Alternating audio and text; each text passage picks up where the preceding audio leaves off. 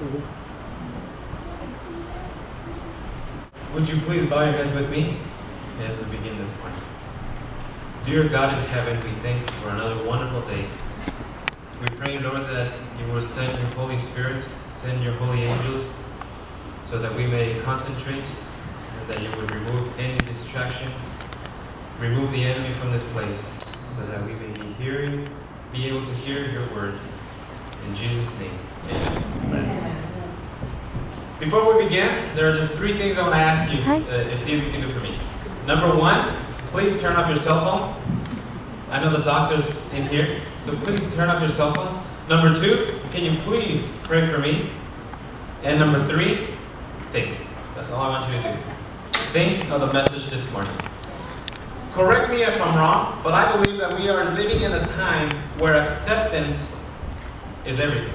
It plays a big part in who you are and the people around you as well. A time where everybody is looking for an excuse to do what they want to do. A time where everybody wants the green light to act according to their will and their way. Correct me if I'm wrong. If we're living in an anything goes, just let it flow type of society. We want what we want so bad, and we're willing to listen to and do what everyone else wants us to do, not what God wants us to do.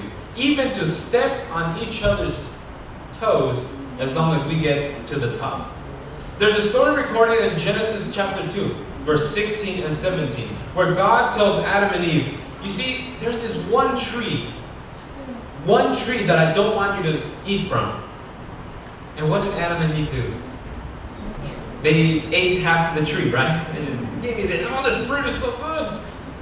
God had specifically told them not to eat from that one tree, that that fruit belonged to God. But in the mind of Adam and Eve, they already had decided that they wanted to venture and see what this was all about. They decided to question his authority. And I don't want you all to get caught up in the hype. Because when you allow yourself to get caught up in the, in the hype, you find yourself in the middle of a spiritual warfare. And that's what I want to talk about this morning. There was a boxer once who, who was he was getting pummeled. He was getting torn apart. He was in the ground. He was bleeding. He had swollen eyes. His trainer looks at him and says, Fred, you're doing great, buddy. This guy, he's not even touching you. The boxer's on the, on the ground. He's just trying to catch his breath. And he looks at his trainer and says, You better keep an eye on that referee because someone's killing me. Friends, we ought to know who we are in battle with. A few months back, I shared a sermon with you all about do you know your enemy? And we went through the Old Testament and the New Testament, and I encourage you all to find out who your enemy is. To study for yourself to understand what the enemy is capable of. But it does not matter how smooth of talking this one boxer had, he was in the battle himself. He was engaged in a physical battle. There is no nice thing I can say that will smooth things out to let you know that you are in a spiritual battle this morning.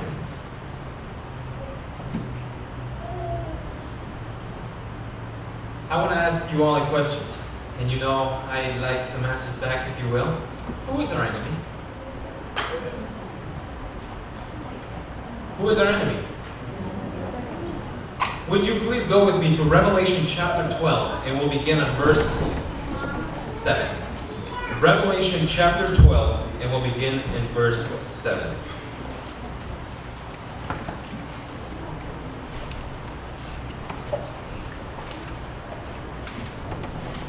Revelation chapter 12, verse 7. And it says, And there was war in heaven, Michael and his angels waging war with the dragon, the dragon and his angels waged war. I want to stop really quick and just point something out. You notice that when you come to the side of God, you belong to Him. But once you decide to venture into the other side, you no longer belong to God. All these angels belong to God prior to the war, but now John tells us the dragon's angels. You notice that? Verse 8 And they were not strong enough, and there was no longer a place found for them in heaven.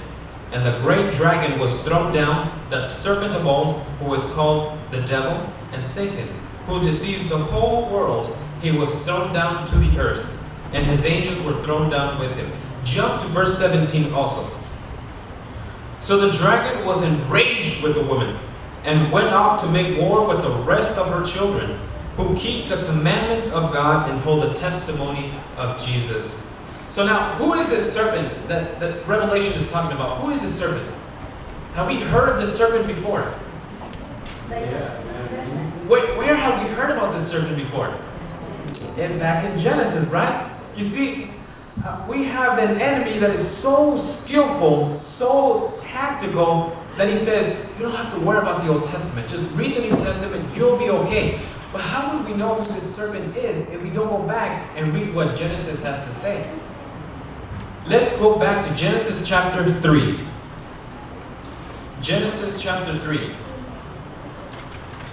And we'll read just verse 1. So you, we can all see how smart, how cunning our enemy is. Now, I mentioned earlier of Genesis chapter 2, verse 16 and 17, where God specifically tells Adam and Eve that one tree, stay away from it. But now here comes our enemy.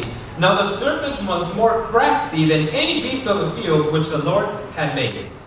And he said to the woman, Did God, did God really say you can eat from any tree of the garden? You see that question there? It raises suspicion, right? It pushes Adam or Eve to question God's authority. Now, please understand, up to this point, Adam and Eve had no idea what a lie was. Understand that when the angels were in heaven, they had no idea what a lie was. Everything that Lucifer was telling them was truth to them. Was the devil always this bad? Is, is he the type of person that we portray today with the pitchfork and the nice tail going on and the, the little cape going on? Is, is that how the, the Bible portrays our enemy? No, right? He comes in suits. He has nice suits. He was the most beautiful angel the Bible records. And would you please go with me to Ezekiel chapter 28 and we'll begin on verse 12.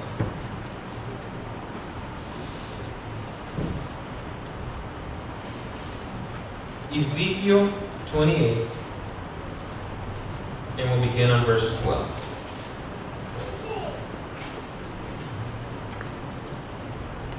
And it says, Son of man, take up a lamentation over the king of Tyre and say to him, Thus says the Lord God, you, you had the seal of perfection, full of wisdom, perfect in beauty.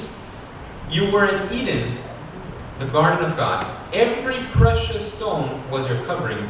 The ruby, and then it names them all. I'm just going to jump down.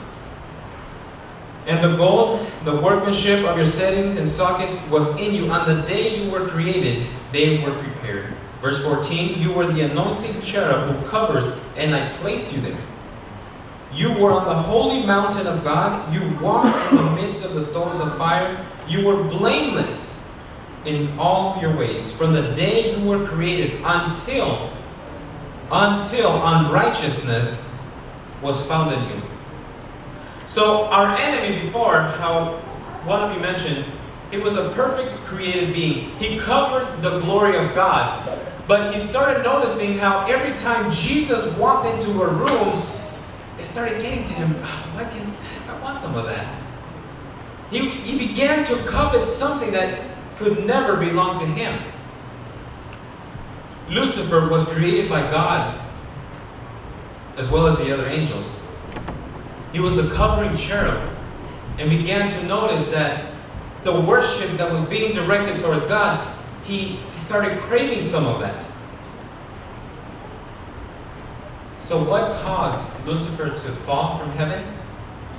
He began to covet a position that not, did not belong to him. There was also pride. There was also jealousy, discontent, self exaltation. Lucifer decided to question the authority and law of God. Now, I just want to ask a, a broad question Is there pride today? Is there jealousy today? Is there self exaltation today? Here's another question Why is worship so important for us? Keep the enemy away. Keeps the enemy away? If you notice, the enemy tried to get some of that worship in heaven.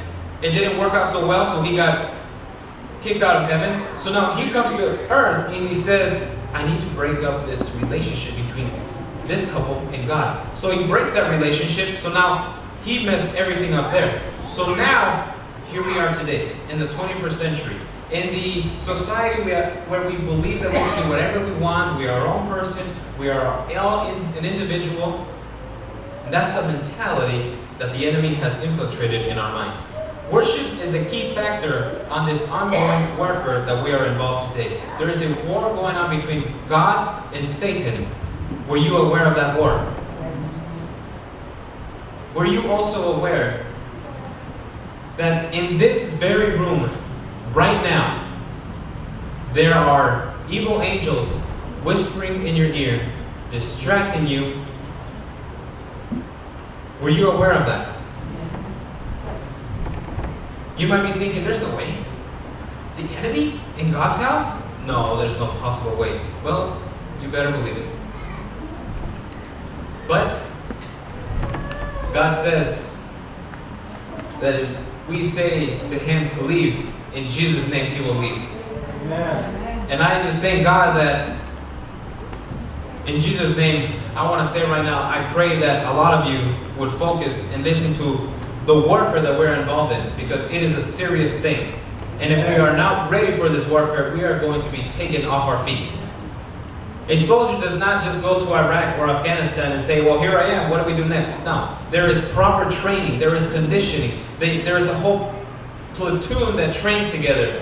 Uh, uh, that's what we are doing today. We are engaging in a warfare, and a lot of us don't even realize that we are in a war. There are some of us who worship something or somebody, whether it's power, prestige, food, pleasure, possessions. We even worship our own opinion. But God clearly says, Thou shalt have no other gods before me. For some of us, our God is that big screen on our living room. But I'll leave you to deal that by yourself. Unless we worship God and we put Him first, whatever takes the most of our attention, the whatever takes most of our time, that is our God. The Bible records in the book of Revelation, where we read earlier, that a war broke out. The enemy all around us. Are we all on the same page? The enemy is all around us. He was able to fool one third of all the angels. One third. Can anybody number them for me? You can use my fingers too. That's a lot of angels, if you ask me. So, how serious is this war that we're involved in? How serious is it? I was able to put some stuff down. There was a lot more, but the list would have been going on and on, and I didn't want to have it too long. Satan managed to convince one third of the angels to question God's authority. He managed to convince Adam and Eve to question God's authority. He managed to cause chaos in this world that led to a flood, which only eight people decided not to believe in that apostasy. You notice that eight people.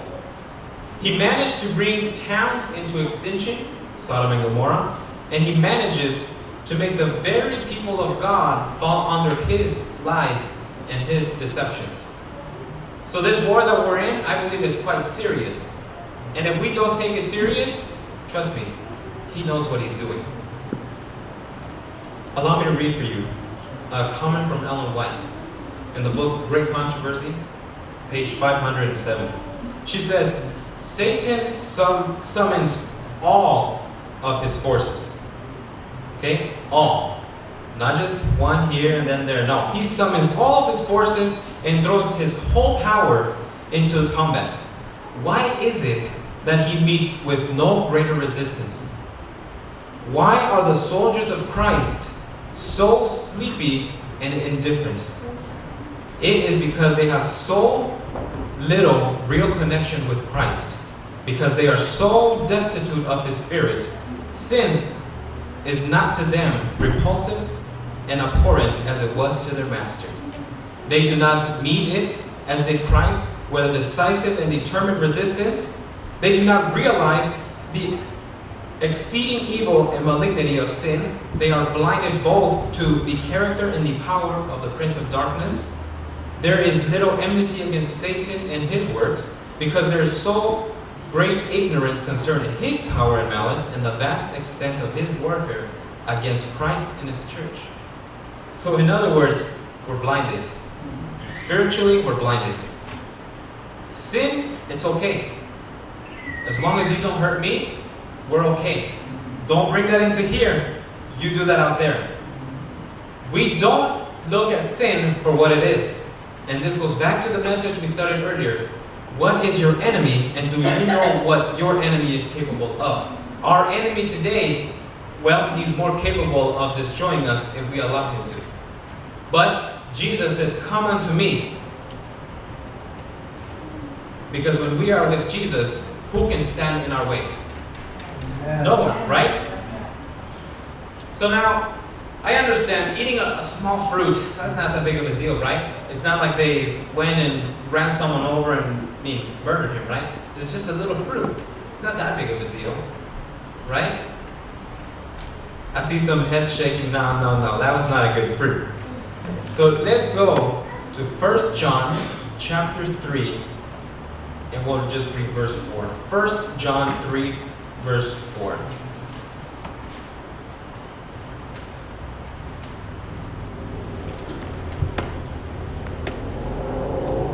First John 3 verse 4 says, Everyone who practices sin also practices lawlessness. And sin is what? Eating the fruit was a sin because it was a direct rejection of God's law and only a few requirements he had. It was an open rebellion against God's law and authority. By rejecting the one commandment that God had given them, they rejected immortality. They rejected living with Jesus in the garden forever. And one thing that I want to point out is that Jesus gave them that choice. Because you see, that's how much He loves us. He gives us that choice. He doesn't force you to love Him because then we'll be robots. And what good is that? You'll run out of batteries eventually, and then what? But God gives you that choice. Do you want to be with me or not? Satan's success rate is astoundingly high, and it seems almost unbelievable. Now, we had a Bible study last night, and we began to notice how in our culture today, we are going from bad to worse to just plain out terrible. Now, if you disagree with me, it's okay. Just look at what's on television today. Look at what our children are watching today. Look at what our children are wearing today. What our children are listening to today. Tell me that the enemy is not working hard. We read 1 Peter 5 8. The enemy is like a roaring lion, just waiting whom he can devour. When the lion is approaching the little gazelle or a zebra, it makes not a single noise until it's about to pounce on its victim. You have no idea where the enemy is right now until it's too late. That's why the Bible calls us to be aware and know the power of the enemy. Don't think that he's some guy with a pitchfork. No, he is the most beautiful created angel known in Scripture. The only thing that the enemy lost when he was kicked out of heaven was the opportunity for him to go back to heaven. The last time we read that was in Job. that he was able to go back to heaven. But besides that, his beauty is still perfect as can be. So, is there hope for us? Can we fight against this enemy by ourselves? I, I don't think I can do it by myself. I'll be honest with you. And I don't know if many of us, not here, but many Christians can do it by themselves. I believe that we need Christ to fight this enemy. Amen. And if we don't know our our Bible, because this is our sword, right? If we don't know our Bible, he will sweep us off our feet because Jesus told the enemy to leave every time with it is written. Amen? Not with, oh, I heard Clinton quote this scripture the other day and it says, no. You need to know what's in here and put it in here so it naturally comes out when you are confronted with a temptation uh, or, a, or a tough decision. But I believe that there is hope for all of us to withstand the deceitfulness of the enemy. And if you would go with me to Romans chapter 14. Romans 14. Romans 14, and we'll read verse 11.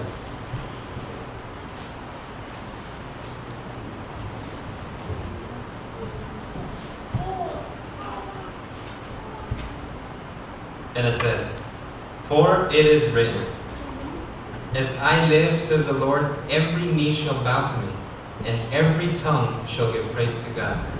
And that includes Amen. even the enemy. There will come a time, there will come a day where even the enemy will be mm-hmm. forced to bow down on his knee, and then we will all be able to see that he was wrong and God was right.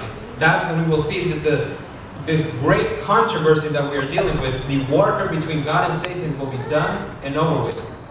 No more crying, no more death, no more back pains, or no more knee pains. Amen. All gone because Jesus says there will come a day when everyone will proclaim me as God. Amen. Jump back to Nahum chapter 1, verse 9. Nahum chapter 1, verse 9.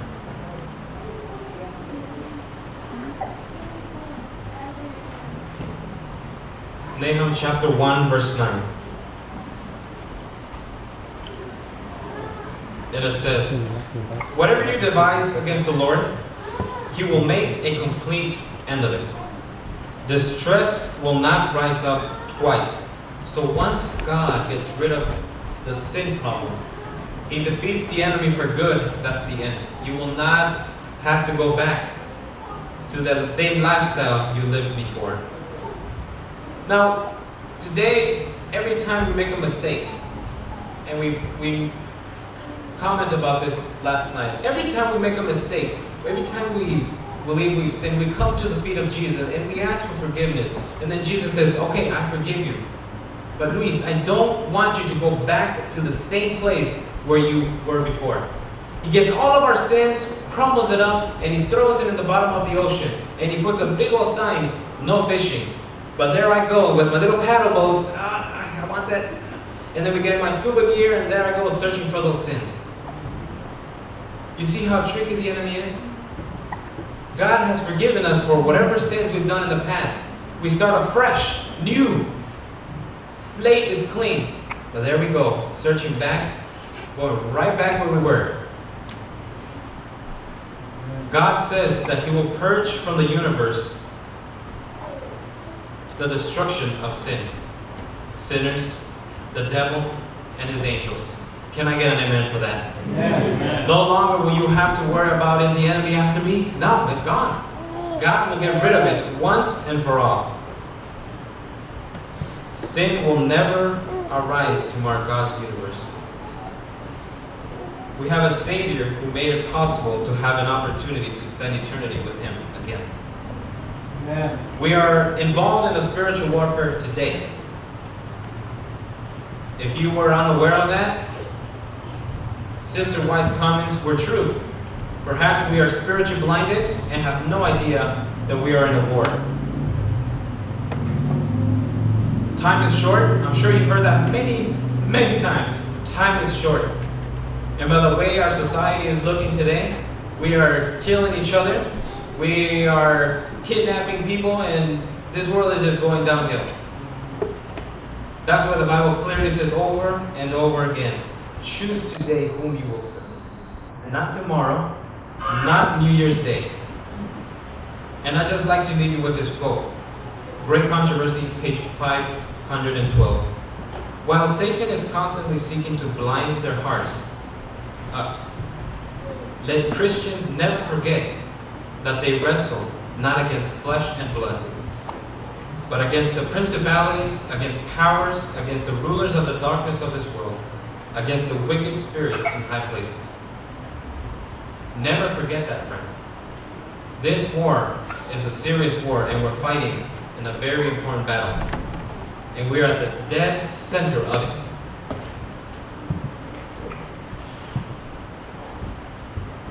Never forget that we're not just fighting an ordinary enemy. We are fighting the Prince of Darkness. We need to arm ourselves with the armor of God. That's the only way we can withstand his battles. But we have hope that Jesus is coming back very soon to take us home. And this hope burns within our hearts. Amen? Amen. A hope that will set us free from all sin, from all the chains that are bounding us. A hope for a better tomorrow. A hope that motivates us to emulate Jesus. If that is your desire this morning, I'd like to invite you to stand with me as we sing hymn 214.